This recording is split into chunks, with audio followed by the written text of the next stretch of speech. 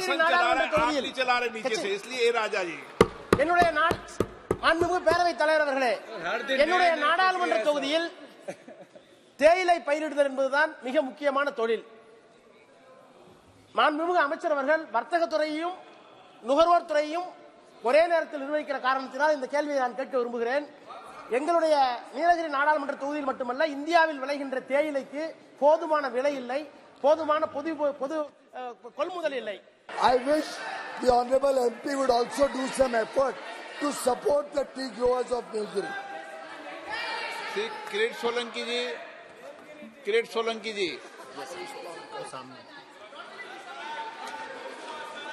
A Raja ji sir sir sir हो गया आपका supplementary A Raja ji Sir, I may permitted to ask in Tamil, sir. Okay. Sir, sir, I may be permitted to ask my question in Tamil, sir. Then it will reach my con- हाँ constituency. ये इसमें Sir, Tamil भाषा का भी है जोड़ो निकालो uh, I can ask. इसमें है Sir, भाषा तमिल மாண்புமிகு பேரவைத் தலைவர் அவர்களே என்னுடைய நாடாளுமன்ற தொகுதி நீலகிரி आप நாடாளுமன்ற पहले தொகுதி माननीय सदस्य ऐसे इस भाषा तमिल है ना कृष्णा का सेकंड नहीं ले आएगी तमिल भाषा Finish. Sir, sir, I will, I will talk in English. अभी रुको तो सही आप एक मिनट जल्दी क्यों कर रहे हो एक मिनट बैठ जाइए आप सप्लीमेंट्री पूछ लिया आपने ए राजा जी अरे इसके एक मिनट सेकंड वाला कहा गया ए राजा जी Sir, अरे इसका Sir. Second supplementary second Sir. Supplementary sir, என்னுடைய दूसरा சார் सप्लीमेंट्री என்னுடைய सदन நீலகிரி आसन चला நாடாளுமன்ற रहे हैं आप தொகுதியில் नहीं चला रहे नीचे से इसलिए ए राजा जी என்னுடைய நா- மாண்புமிகு பேரவைத் தலைவர் அவர்களே என்னுடைய நாடாளுமன்ற தொகுதியில் தேயிலை பயிரிடுதல் என்பதுதான் மிக முக்கியமான தொழில் மாண்புமிகு அமைச்சர் அவர்கள் வர்த்தகத்துறையையும் நுகர்வோர் துறையையும் ஒரே நேரத்தில் நிர்வகிக்கிற காரணத்தினால் இந்த கேள்வியை நான் கேட்க விரும்புகிறேன். எங்களுடைய நீலகிரி நாடாளுமன்ற தொகுதியில் மட்டுமல்ல இந்தியாவில் விளைகின்ற தேயிலைக்கு போதுமான விலை இல்லை. போதுமான பொது பொது கொள்முதல் இல்லை. இதை தீர்ப்பதற்கு ஒரே வழி பொது விநியோக திட்டத்தில் தேயிலையை நீங்கள் சேர்த்தால் அது கல்டிவேஷன் பயிரிடுகிறவர்களுக்கும் உற்பத்தி செய்கிறவர்களுக்கும் கொள்முதல் செய்கிறவர்களுக்கும் வசதியாக இருக்கும் என்பதை இந்த நேரத்தில் நான் உங்க இடத்துல கேள்வியாக கேட்க விரும்புகிறேன். நல்ல விடை என்று விரும்புகிறேன். Sir, to get a good answer, you need to give a good question. The question is relating to Pradhan Mantri Garib Kalyan Anna Yojana. The question is related to uh, nutrient-dense options like millets and seafood. I, the, and some recommendation on Niti Aayog that the Honorable MP just mentioned. I don't know whether uh, our Honorable other uh, senior colleague, who's been a minister himself, either did not understand this or maybe we should consider, parliamentary affairs should consider whether we can translate questions into different languages and give to different uh, members so that they can understand what the question is. He is welcome to my chamber. I welcome Mr. Raja for a cup of coffee. In fact, I'll be happy to serve Nilgiri tea, sir. I am promoting Nilgiri tea across the world.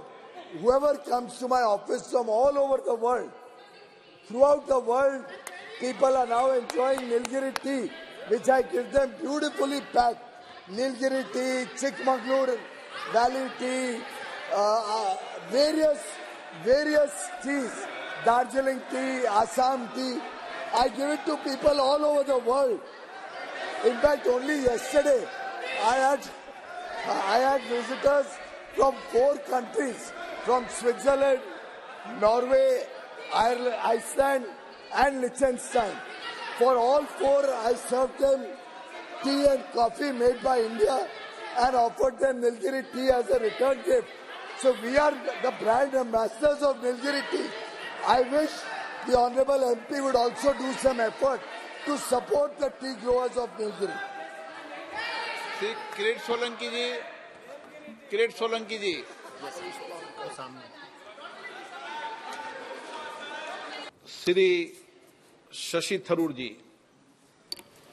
Thank you. Thank you very much, Mr. Speaker. The Honourable Minister's reply says that the TRI recommendations are under consideration in DOT. Now, the recommendations, sir, were issued in 2020. Now, how long does it take DOT to consider these matters? And what is impeding, after three years, they're coming to a decision, sir? Linked to this, that's a comment, I want to ask a question. How, Huh, it's, a- it's supposed to be happening normally within a few, a month or two, so this is quite unreasonable. under consideration can mask various substantive objections, and we'd like to know what they are. We should be aware that the Global Encryption Coalition has already expressed grave concerns about the TRAI recommendations, in particular about the consequences of TRAI recommendations for encryption.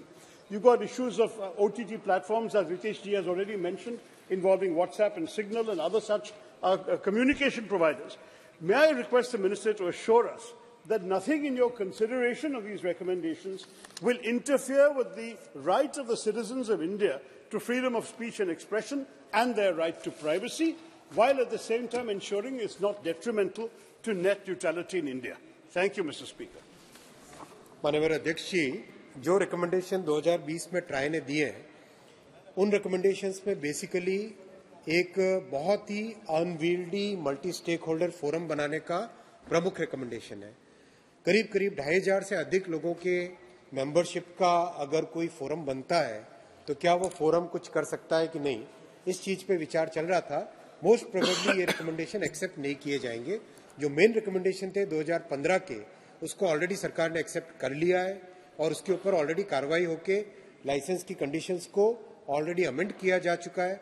और उसके बाद से जैसा मैंने स्पष्ट तौर पे कहा है माननीय अध्यक्ष जी आज की तारीख में भारत में नेट न्यूट्रलिटी का प्रिंसिपल वेल स्टैब्लिश्ड है। श्री गौरव गोगोई जी। धन- धन्यवाद। धन्यवाद सभापति महोदय। ये जो ओटीटी सर्विसेज़ है हमारे देश में उसको ministry of information technology regulate करती है और काफ़ी अच्छा मेते बीच बीच में अपने गाइडलाइंस और नोटिफिकेशंस निकालती रहती है ओटीटी सर्विसेज़ को। रेगुलेट करने के लिए। अब ये जो ड्राफ्ट बिल आया है टेलीकॉम का, जो पब्लिक डोमेन में है और सरकार कंसल्टेशन मांग रही है ट्राई का जो ये पेपर है, जो भी पब्लिक डोमेन में है उसमें कंसल्टेशन मांग रही है। इसमें देखा जा रहा है कि मिनिस्ट्री ऑफ़ टेलीकम्युनिकेशंस अपनी पावर्स एक्सपेंड एक्सपैंड कर रही है। उन ओटीटी एंटिटीज को रेगुलेट करने में, जो पहले से ही ministry of information technology regulate कर रही है। तो मेरा जो साफ़ साफ़ सवाल यह है कि आदरणीय मंत्री महोदय ने प्रिंसिपल की तो बात की कि नेट न्यूट्रलिटी प्रिंसिपल पर वर्तमान सरकार विश्वास करती है। लेकिन ये जो ड्राफ्ट बिल और पेपर में नेटवर्क यूसेज फ़ीस जो लाया गया है, नेटवर्क यूसेज फ़ी अगर रहेगा तो नेटवर्क, नेट न्यूट्रलिटी कैसे रहेगी? इसका विवरण हम बार बार इस मंत्री से चाहते हैं, क्योंकि ये सवाल सांसद महोदय ने किया, रितेश पांडे जी ने, लेकिन उसका उत्तर नहीं आया। हम उत्तर मांगते हैं और अंत में, सर, एक संकेत मंत्री ने किया, एक संकेत मुझे भी करने दीजिए।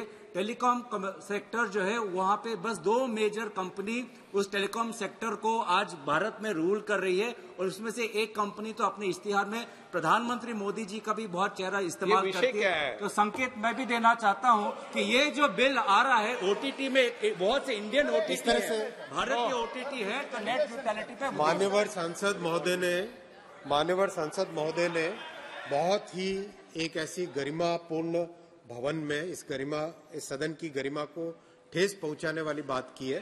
मान्यवर अध्यक्ष जी, पहली बात पहली बात नेट न्यूट्रलिटी पे जो प्रश्न मान्यवर सांसद जी ने पूछे हैं या उनके जितने भी सप्लीमेंट्री क्वेश्चंस आए सब पे मैंने एकदम स्पष्ट तौर पे जवाब दिया है कि नेट न्यूट्रलिटी के प्रिंसिपल को भारत सरकार ने 2017 के रिकमेंडेशन ऑफ़ ट्राई के बाद में क्लियरली उसको एक्सेप्ट करके सारी की सारी जितने सर्विस प्रोवाइडर्स हैं उनकी लाइसेंस कंडीशंस में क्लियर एक मॉडिफिकेशन करके उस प्रिंसिपल को स्टैब्लिश किया है फॉलो किया है।